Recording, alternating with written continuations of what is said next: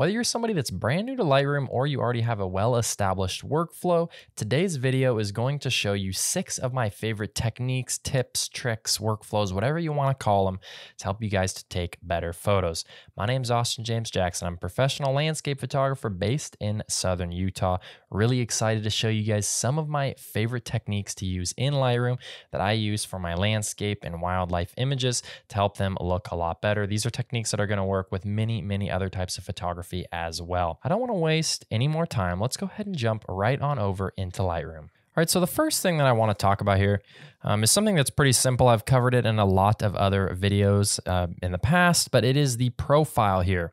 Now, when you go and select the profile, you'll see you have a few options by default, and you can even hit browse and get more options. Essentially, this just tells Lightroom how it's going to essentially look at the raw file and how the colors are going and the light is going to be processed. By default, most photos are going to come in in Adobe Color, um, and I would recommend if you want a little bit better and bolder colors right off the rip at the start of your photo edit to change this to Adobe Landscape or Adobe Vivid. Now, I don't always do this, but if I can remember, I like to do it at the beginning of my edit. A lot of people will create a preset that automatically changes it for them. Um, but you can see when I change this off of Adobe Color, which is here, to Adobe Landscape, you can see the colors are just a little bit stronger. You can even do vivid. Um, vivid, the colors are a little less strong, but you can see the difference between a vivid and color. It just kind of makes a little more contrasty of an image.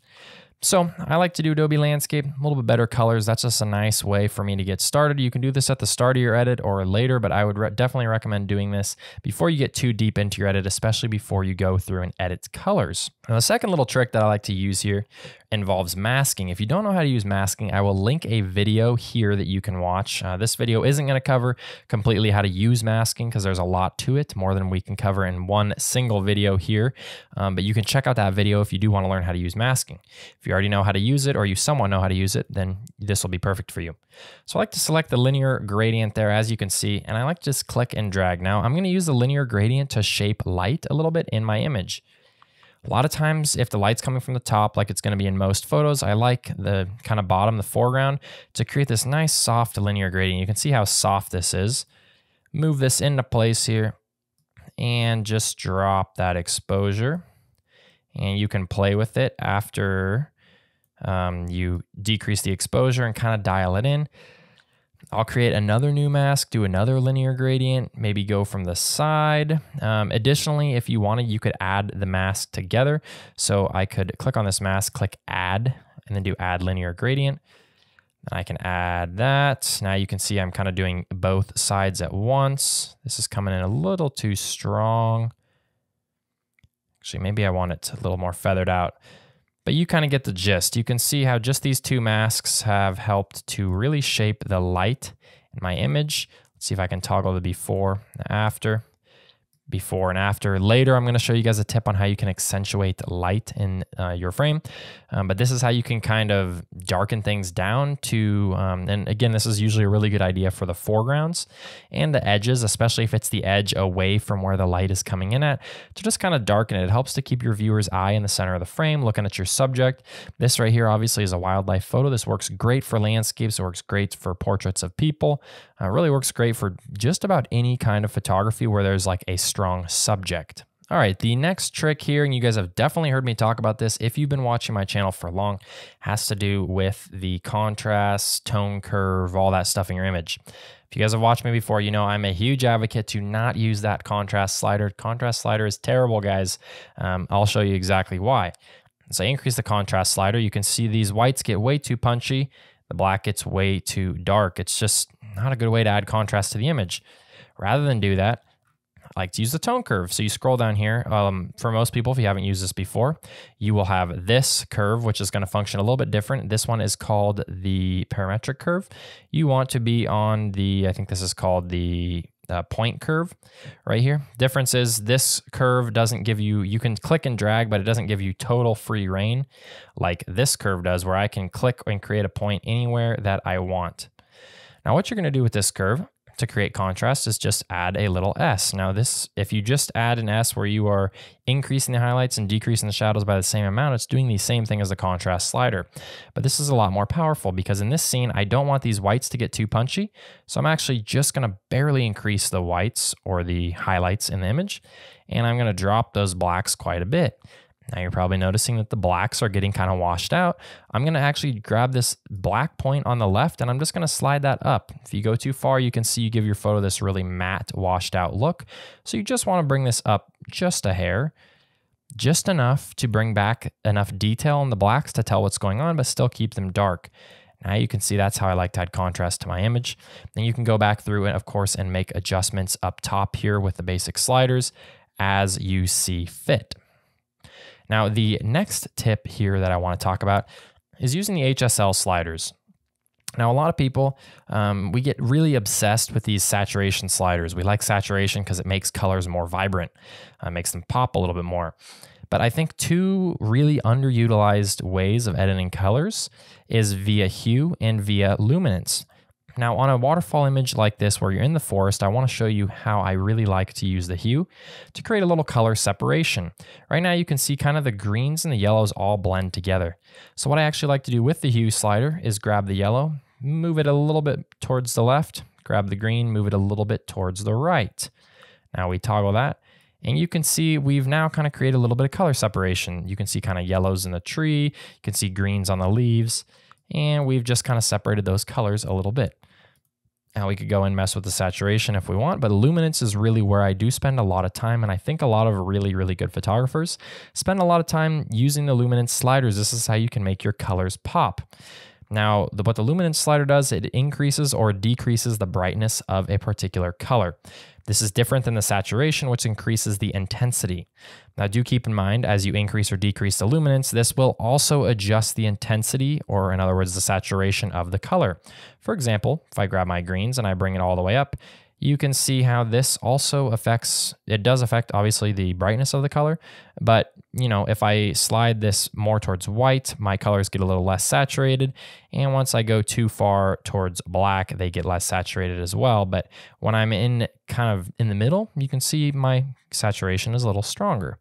So I like to use this to just make my colors pop a little bit and you can, you know, if I increase the blues a lot of time for water, it'll help to kind of drown out some of those, you know, some of this stuff down here. And I might just uh, tweak this a little bit more. Maybe I want the greens to be darker in this image, but the yellows to be brighter. Now I'll toggle this again. You can see just all we've done here, all I'm toggling is the color mixer, and we've created a lot of color separation in our image here. This is making things look a lot better. So in just a couple minutes, using both hue and luminance, you can create a lot of color separation in your image. Really don't sleep on this luminance slider. That being said, you usually don't want to go all the way to plus 100. You can start to get some weird kind of banding going on in your image, so don't overdo this. But usually anywhere in the you know 30 to 50 to even 60 range is usually pretty good. So that is your HSL sliders. All right now, as promised, I showed you kind of how to take away some light or darken the foreground. I also want to show you how to add some light into your image. You're going to go back into your masking tool here and you're going to click the usually radial gradient, but you could also use linear depending on the photo.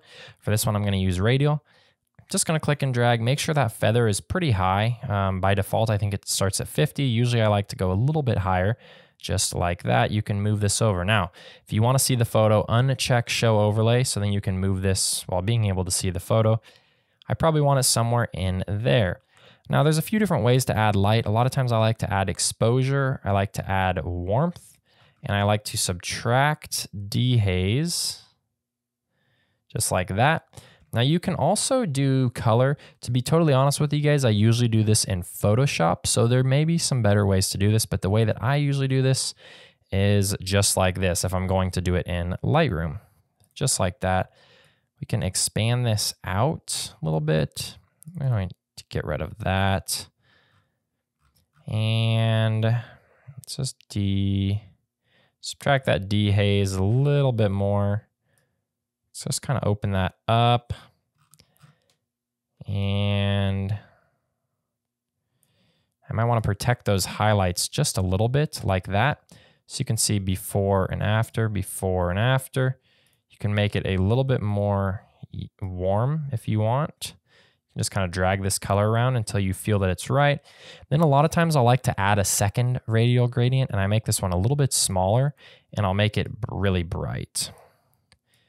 Let's put this right on the corner there. And I'm not don't necessarily want to blow that out totally, but just make it a little bit brighter just to kind of show off, you know, I like to show off there's a really bright spot here that kind of tapers out and adds light as you go across. Now you could really go crazy with this if you wanted to add, you know, another radial gradient and make it even bigger. You can kind of bleed this light into the scene as much as you want. Obviously, depending on the photo, you're going to need to use a different color, maybe a little bit different settings, but you kind of get the gist of how to add light just like that. Now, I want to show you how you can combine this, and this is basically the sixth kind of tip, is combining masks. A lot of people don't understand how to combine masks. I'm actually going to show you on this photo again. Um, the first thing that I want to do, so let's say you want to create some light in this photo. Now, we're going to do the same thing, radial gradient. Open it up like that add some exposure, uh, add some warmth, not too much, just a touch, and drop the dehaze a little bit. Let's bring that exposure up a little bit more. This photo already has a good amount of light in it, so it already looks pretty nice. But let's go ahead, make it a little bit better, and let's kind of angle it a little bit. Okay, somewhere about in there like that. Now we toggle that. Now the problem is it doesn't look realistic because if the light would be technically behind this moose, it wouldn't be in front of his antler. Now you can combine masks. There's a few different ways to do this. If you want to add to the mask, you hit the add button. And if you want to take away from it, you hit subtract. In this case, we want to take away from it. So we want to subtract and we want to subtract probably we'll try subject. And I think subject is going to work pretty well. For a photo like this, where you've got a sharp subject and a blurry background, it's going to work pretty well. If you're shooting like a traditional landscape where maybe everything is in focus, you may need to do select background or even go in um, with another one of these options here. But for this photo, we are going to do select subject. Now this is going to subtract the subject and you can see it already did a pretty nice job. Now you can see the mask. Didn't do the most amazing job, but it did good enough for what we need now, before, after, before, after. Now you can come in here and you can click on radial gradient and you can continue to adjust this around and it will stay behind the moose because we've subtracted the subject. So that is a really, really nice way to combine your masks together. Um, which is going to help you to create this more realistic looking light when you create that light that's flooding in. Additionally, there's hundreds of different reasons why you might want to combine masks. If you want to remove one part of a mask from something, you can always use a subtract. Or if you want to add something like you saw in this image down here, I added another linear gradient. Sure, I could have created a new mask and created the same effect, but it's nice to just have it all under one roof. You can see with just the local adjustments on this photo, We've really shaped the light so that the light is coming from the left and it's dark on the right side. So that is looking a lot better with just a few quick adjustments to the masking. Hey, thank you guys so much for checking out this week's video. If you guys are serious about improving your photography, make sure to subscribe to my channel. I'm posting weekly videos to help you guys become better photographers. And of course, let me know down below in the comments if these worked for you, if they didn't work for you, if you have any tips of your own or anything like that. I always love hearing from you guys. Thank you guys so much for watching. This is Austin James Jackson. Until next time, you guys have a good one.